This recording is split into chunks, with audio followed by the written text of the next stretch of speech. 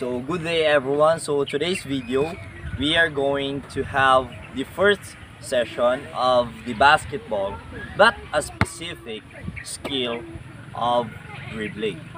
Pero first is, gagawa muna tayo ng body conditioning which is, kasi first is, kailangan tala meron tayong body conditioning or a training. Kasi, dun din tayo mag-uumpisa.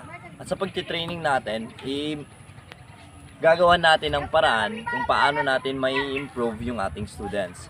However, first is we have the body conditioning. Magkakaroon tayo ng process. Process of how to improve the the uh, skill of the student. At sa ganun paraan, may papakita natin kung paano ang dapat or the process of how to properly execute the different skills of the basketball. So first, let's start the uh, first session which is the dribbling. So body conditioning, let's go. So this is my student, uh, Dato Arhad Kabdig, and I am Aljim Gumingen, the teacher, and let's start.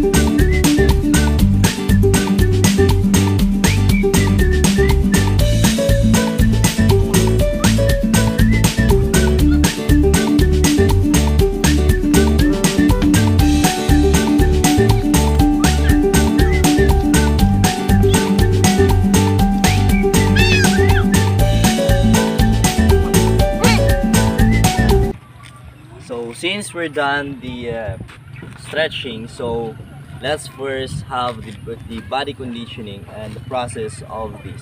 So kailangan natin ipaprocess kung paano bang dapat na dribble. So ganito, magti-training tayo para sa ganon is ready yung katawan natin sa mga games, sa mga skills, and let's start.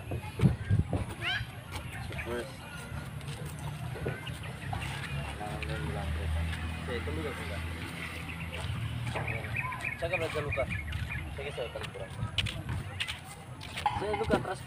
Nakar penduduk ya. Oh,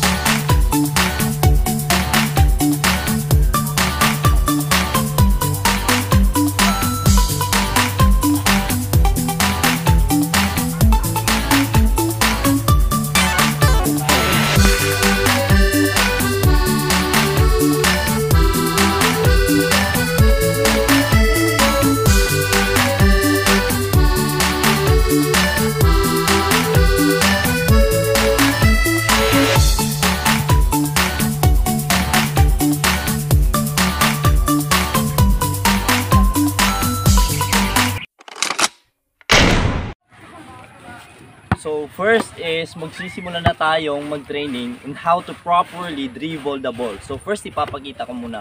Sa tamang pag-dribble ng bola, kailangan is first is kailangan naka yali lang kailangan is medyo malayo ng konti ang bawat paa natin. Second is kailangan nakabend tayo. Kailangan nakabend. Sa pagbe-bend, ganito. Hindi masyadong mababa at hindi masyadong mataas. Kailangan mababa lang. And then. And then, sa tamang pag pag-dribble ng bola is kailangan naka-wave yung, yung kamay. Ito, one. Always siya nakaganyan. Parang pag hawak mo ng bola, hindi siya mapapalayo. One, two, three, four, five, six, seven. Meron din tayong sa depensa. Ito. 1, 2, 3, 4, 5. Kabila, 1, 2, 3, 4, 5. So, yon ipapakita natin. So, kab- Okay, tin- Open. open. Open. Lalo yan. Okay. So, ituturo ko na po kung paano. So, ibaka ko. Baka. Check. Baka. Baka. Baka. Tapos, baba. Baba. Baba. Tapos, Always, may abaya. Hindi kang. Always. One, two, three, four. Kung saan yung bola, kailangan nandun din yung katawan mo. One, two, three, four. Sige. Oh. Kaya na, i- i- i-atras mo dito. One. One. Always ano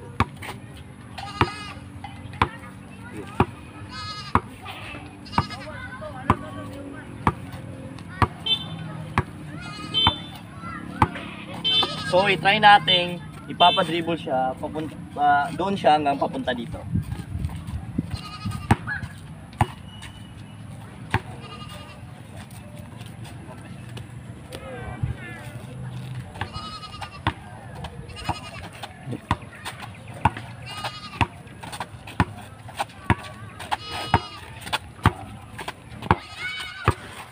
So, yun po. Basic lang po yun. So, next is paano kaya kapag merong dumidepensa. So, first ipapakita ko muna kung paano ang tamang pag-dribble kapag merong dumidepensa. So, depensa pa po. One, two, kabila. One, two. So, kailangan. So, kailangan kapag nag-dribble ka, kapag may depensa, kailangan yung kamay natin nakaganito. And, kapag tayo, yung face natin is nasa nasa gilid. At yung kamay natin is ganito. So, papakita ko. One, two, three. One, two, three. One, two, three. So, ang purpose nito, yung isang kamay natin is kay para mahirap tayong maagawan or mahirap masundot yung bola dahil ito ang dumidepensa. So, natarhad. Ayan, natarhad.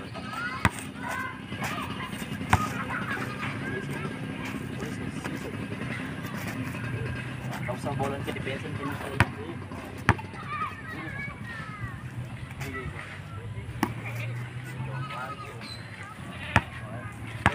Baba, baba, baba.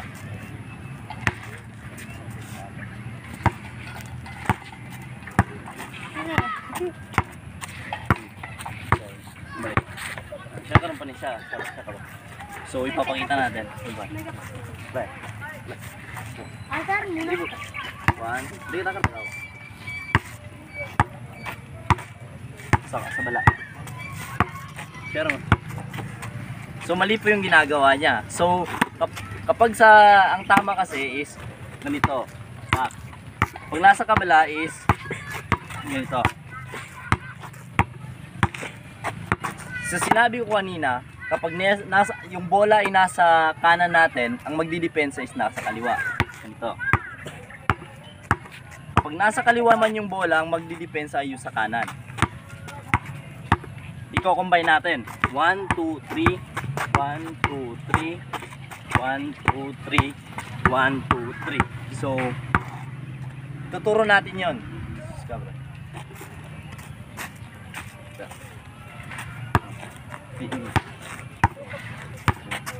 Siguro to? Waka. Diba? 1, 2, 3. Waka. 1, 2, 3. kung saan yung yung kamay mo, yung nasa left is nasa unahan. Ganito, 1, 2, 3, tapos 1, 2, 3. Okay. 1, 2, 3, 1, 2. Gilid ka, gilid ka, mamba. Sige. Depensa, sorry. Always nakilipin. Balian ka pala. Sige. Limanan ka, may limanan ka. Depensa. Mama. Ang purpose po nito is para madepensahan yung umaagaw na bola. For example,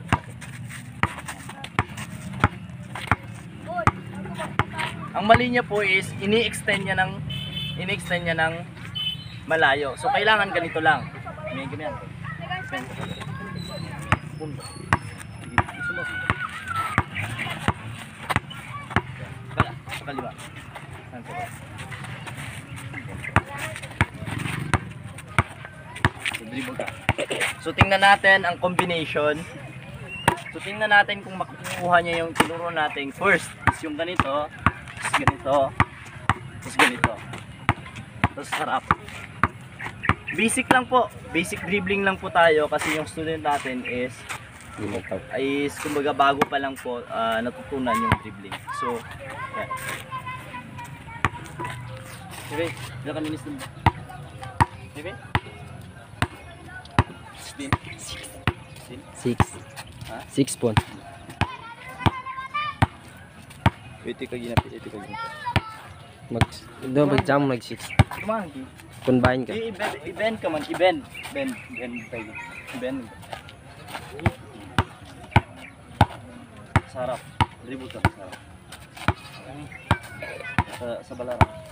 Depende. Stand ka naman.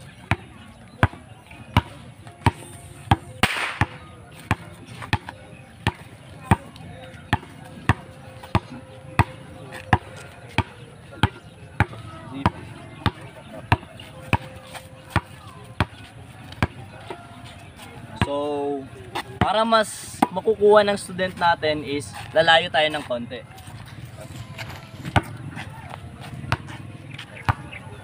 One. Pak, pak, pak. Kuha ka po, tapos depensa. Pak, pak, pak. So, ayan, one, two, three, go. One, two, three, go. One, two, one, two, three. Tapos depensa. One, tak, two, three. Tapos kuha kayo bola. Okay. One, two, three. Harap, harap. One, two, three. Okay. One, two. One, two. Depensa ka. Three. Three. Tapos dribbling. One. Dribble, dribble. One, two. One. Seven. Since parang medyo nagpa-process na, medyo nagpa-process na sa utak ng ating student, so ah, bibigyan natin ng dalawang ah, techniques sa dribbling. So meron din ganito. Para mas mapapa-improve yung dribbling natin.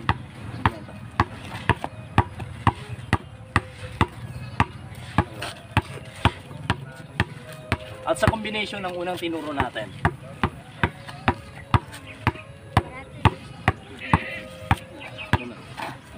Kailangan, check so dito pwede ka na ba mo? So dapat ah, first is pak, pak, pak. Ito. So, Sige, dribble ka, dribble. Pak, gapas ka rin. Pak, pak, pak. Sige, pababa, pababa. Pak, pak, pak, pak, pak, pak. Sa kabila, sa bala. Pak, bang, bang. Mali, mali. Hindi ganito. Hindi ganito. Hindi ganito. Palibot ka. Bang, bang, bang. Parang pinupupunta mo yung bola doon, tapos pabalik. Tayo so. Ano tayo? Bang, bang, bang, bang, bang. Sa bala. Okay, wala. Pagka man. Sige, sige, tarigan mo. mo. Mo man kasi kari ka mataw. Mas mapay, ma'am. Bang, bang, bang, bang, bang, bang. So yung student natin is, is hindi niya masyadong nakukuha yung yung tamang pag-dribbling sa ganito, yung iisang kamay. So ituturo natin 'yon. Yan, hanggang sa medyo makuha na ng student natin. Sulit.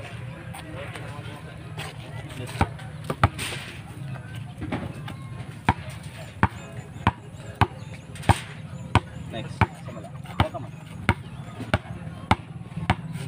Dili ka na.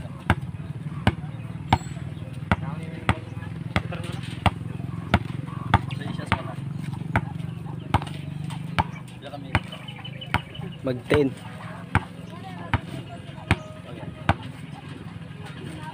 So, sa napansin ko sa unang session natin sa dribbling is medyo nakukuha na rin ng student natin yung mga basic dribbling lamang. However, hindi masyadong perfect pero ah pwede nating i-improve yung student na yung student ko. So, tsaka pre. So, ang problema dun sa student ko is medyo matigas yung nasa kaliwa niya. Kasi kanan siya eh, kanan siya. So, nagiging matigas yung dribbling niya sa kaliwa. Pero pwede nating i-improve. So, yun po yung unang first session namin sa, sa, sa araw na ito. And I hope is may natutunan yung student. May natutunan ka ba? Yes. Ah, So, napakagandang ah, ah, oportunidad para sa akin na maturuan ng isang student na hindi masyadong kagalingan sa pag-dribbling. So, sa ikalawang session namin is ah, may tuturo tayong another skill para sa basketball din. So, yun lamang po sa unang session natin. Sana may natutunan din kayo sa video na ito. Yun lamang po at maraming maraming salamat.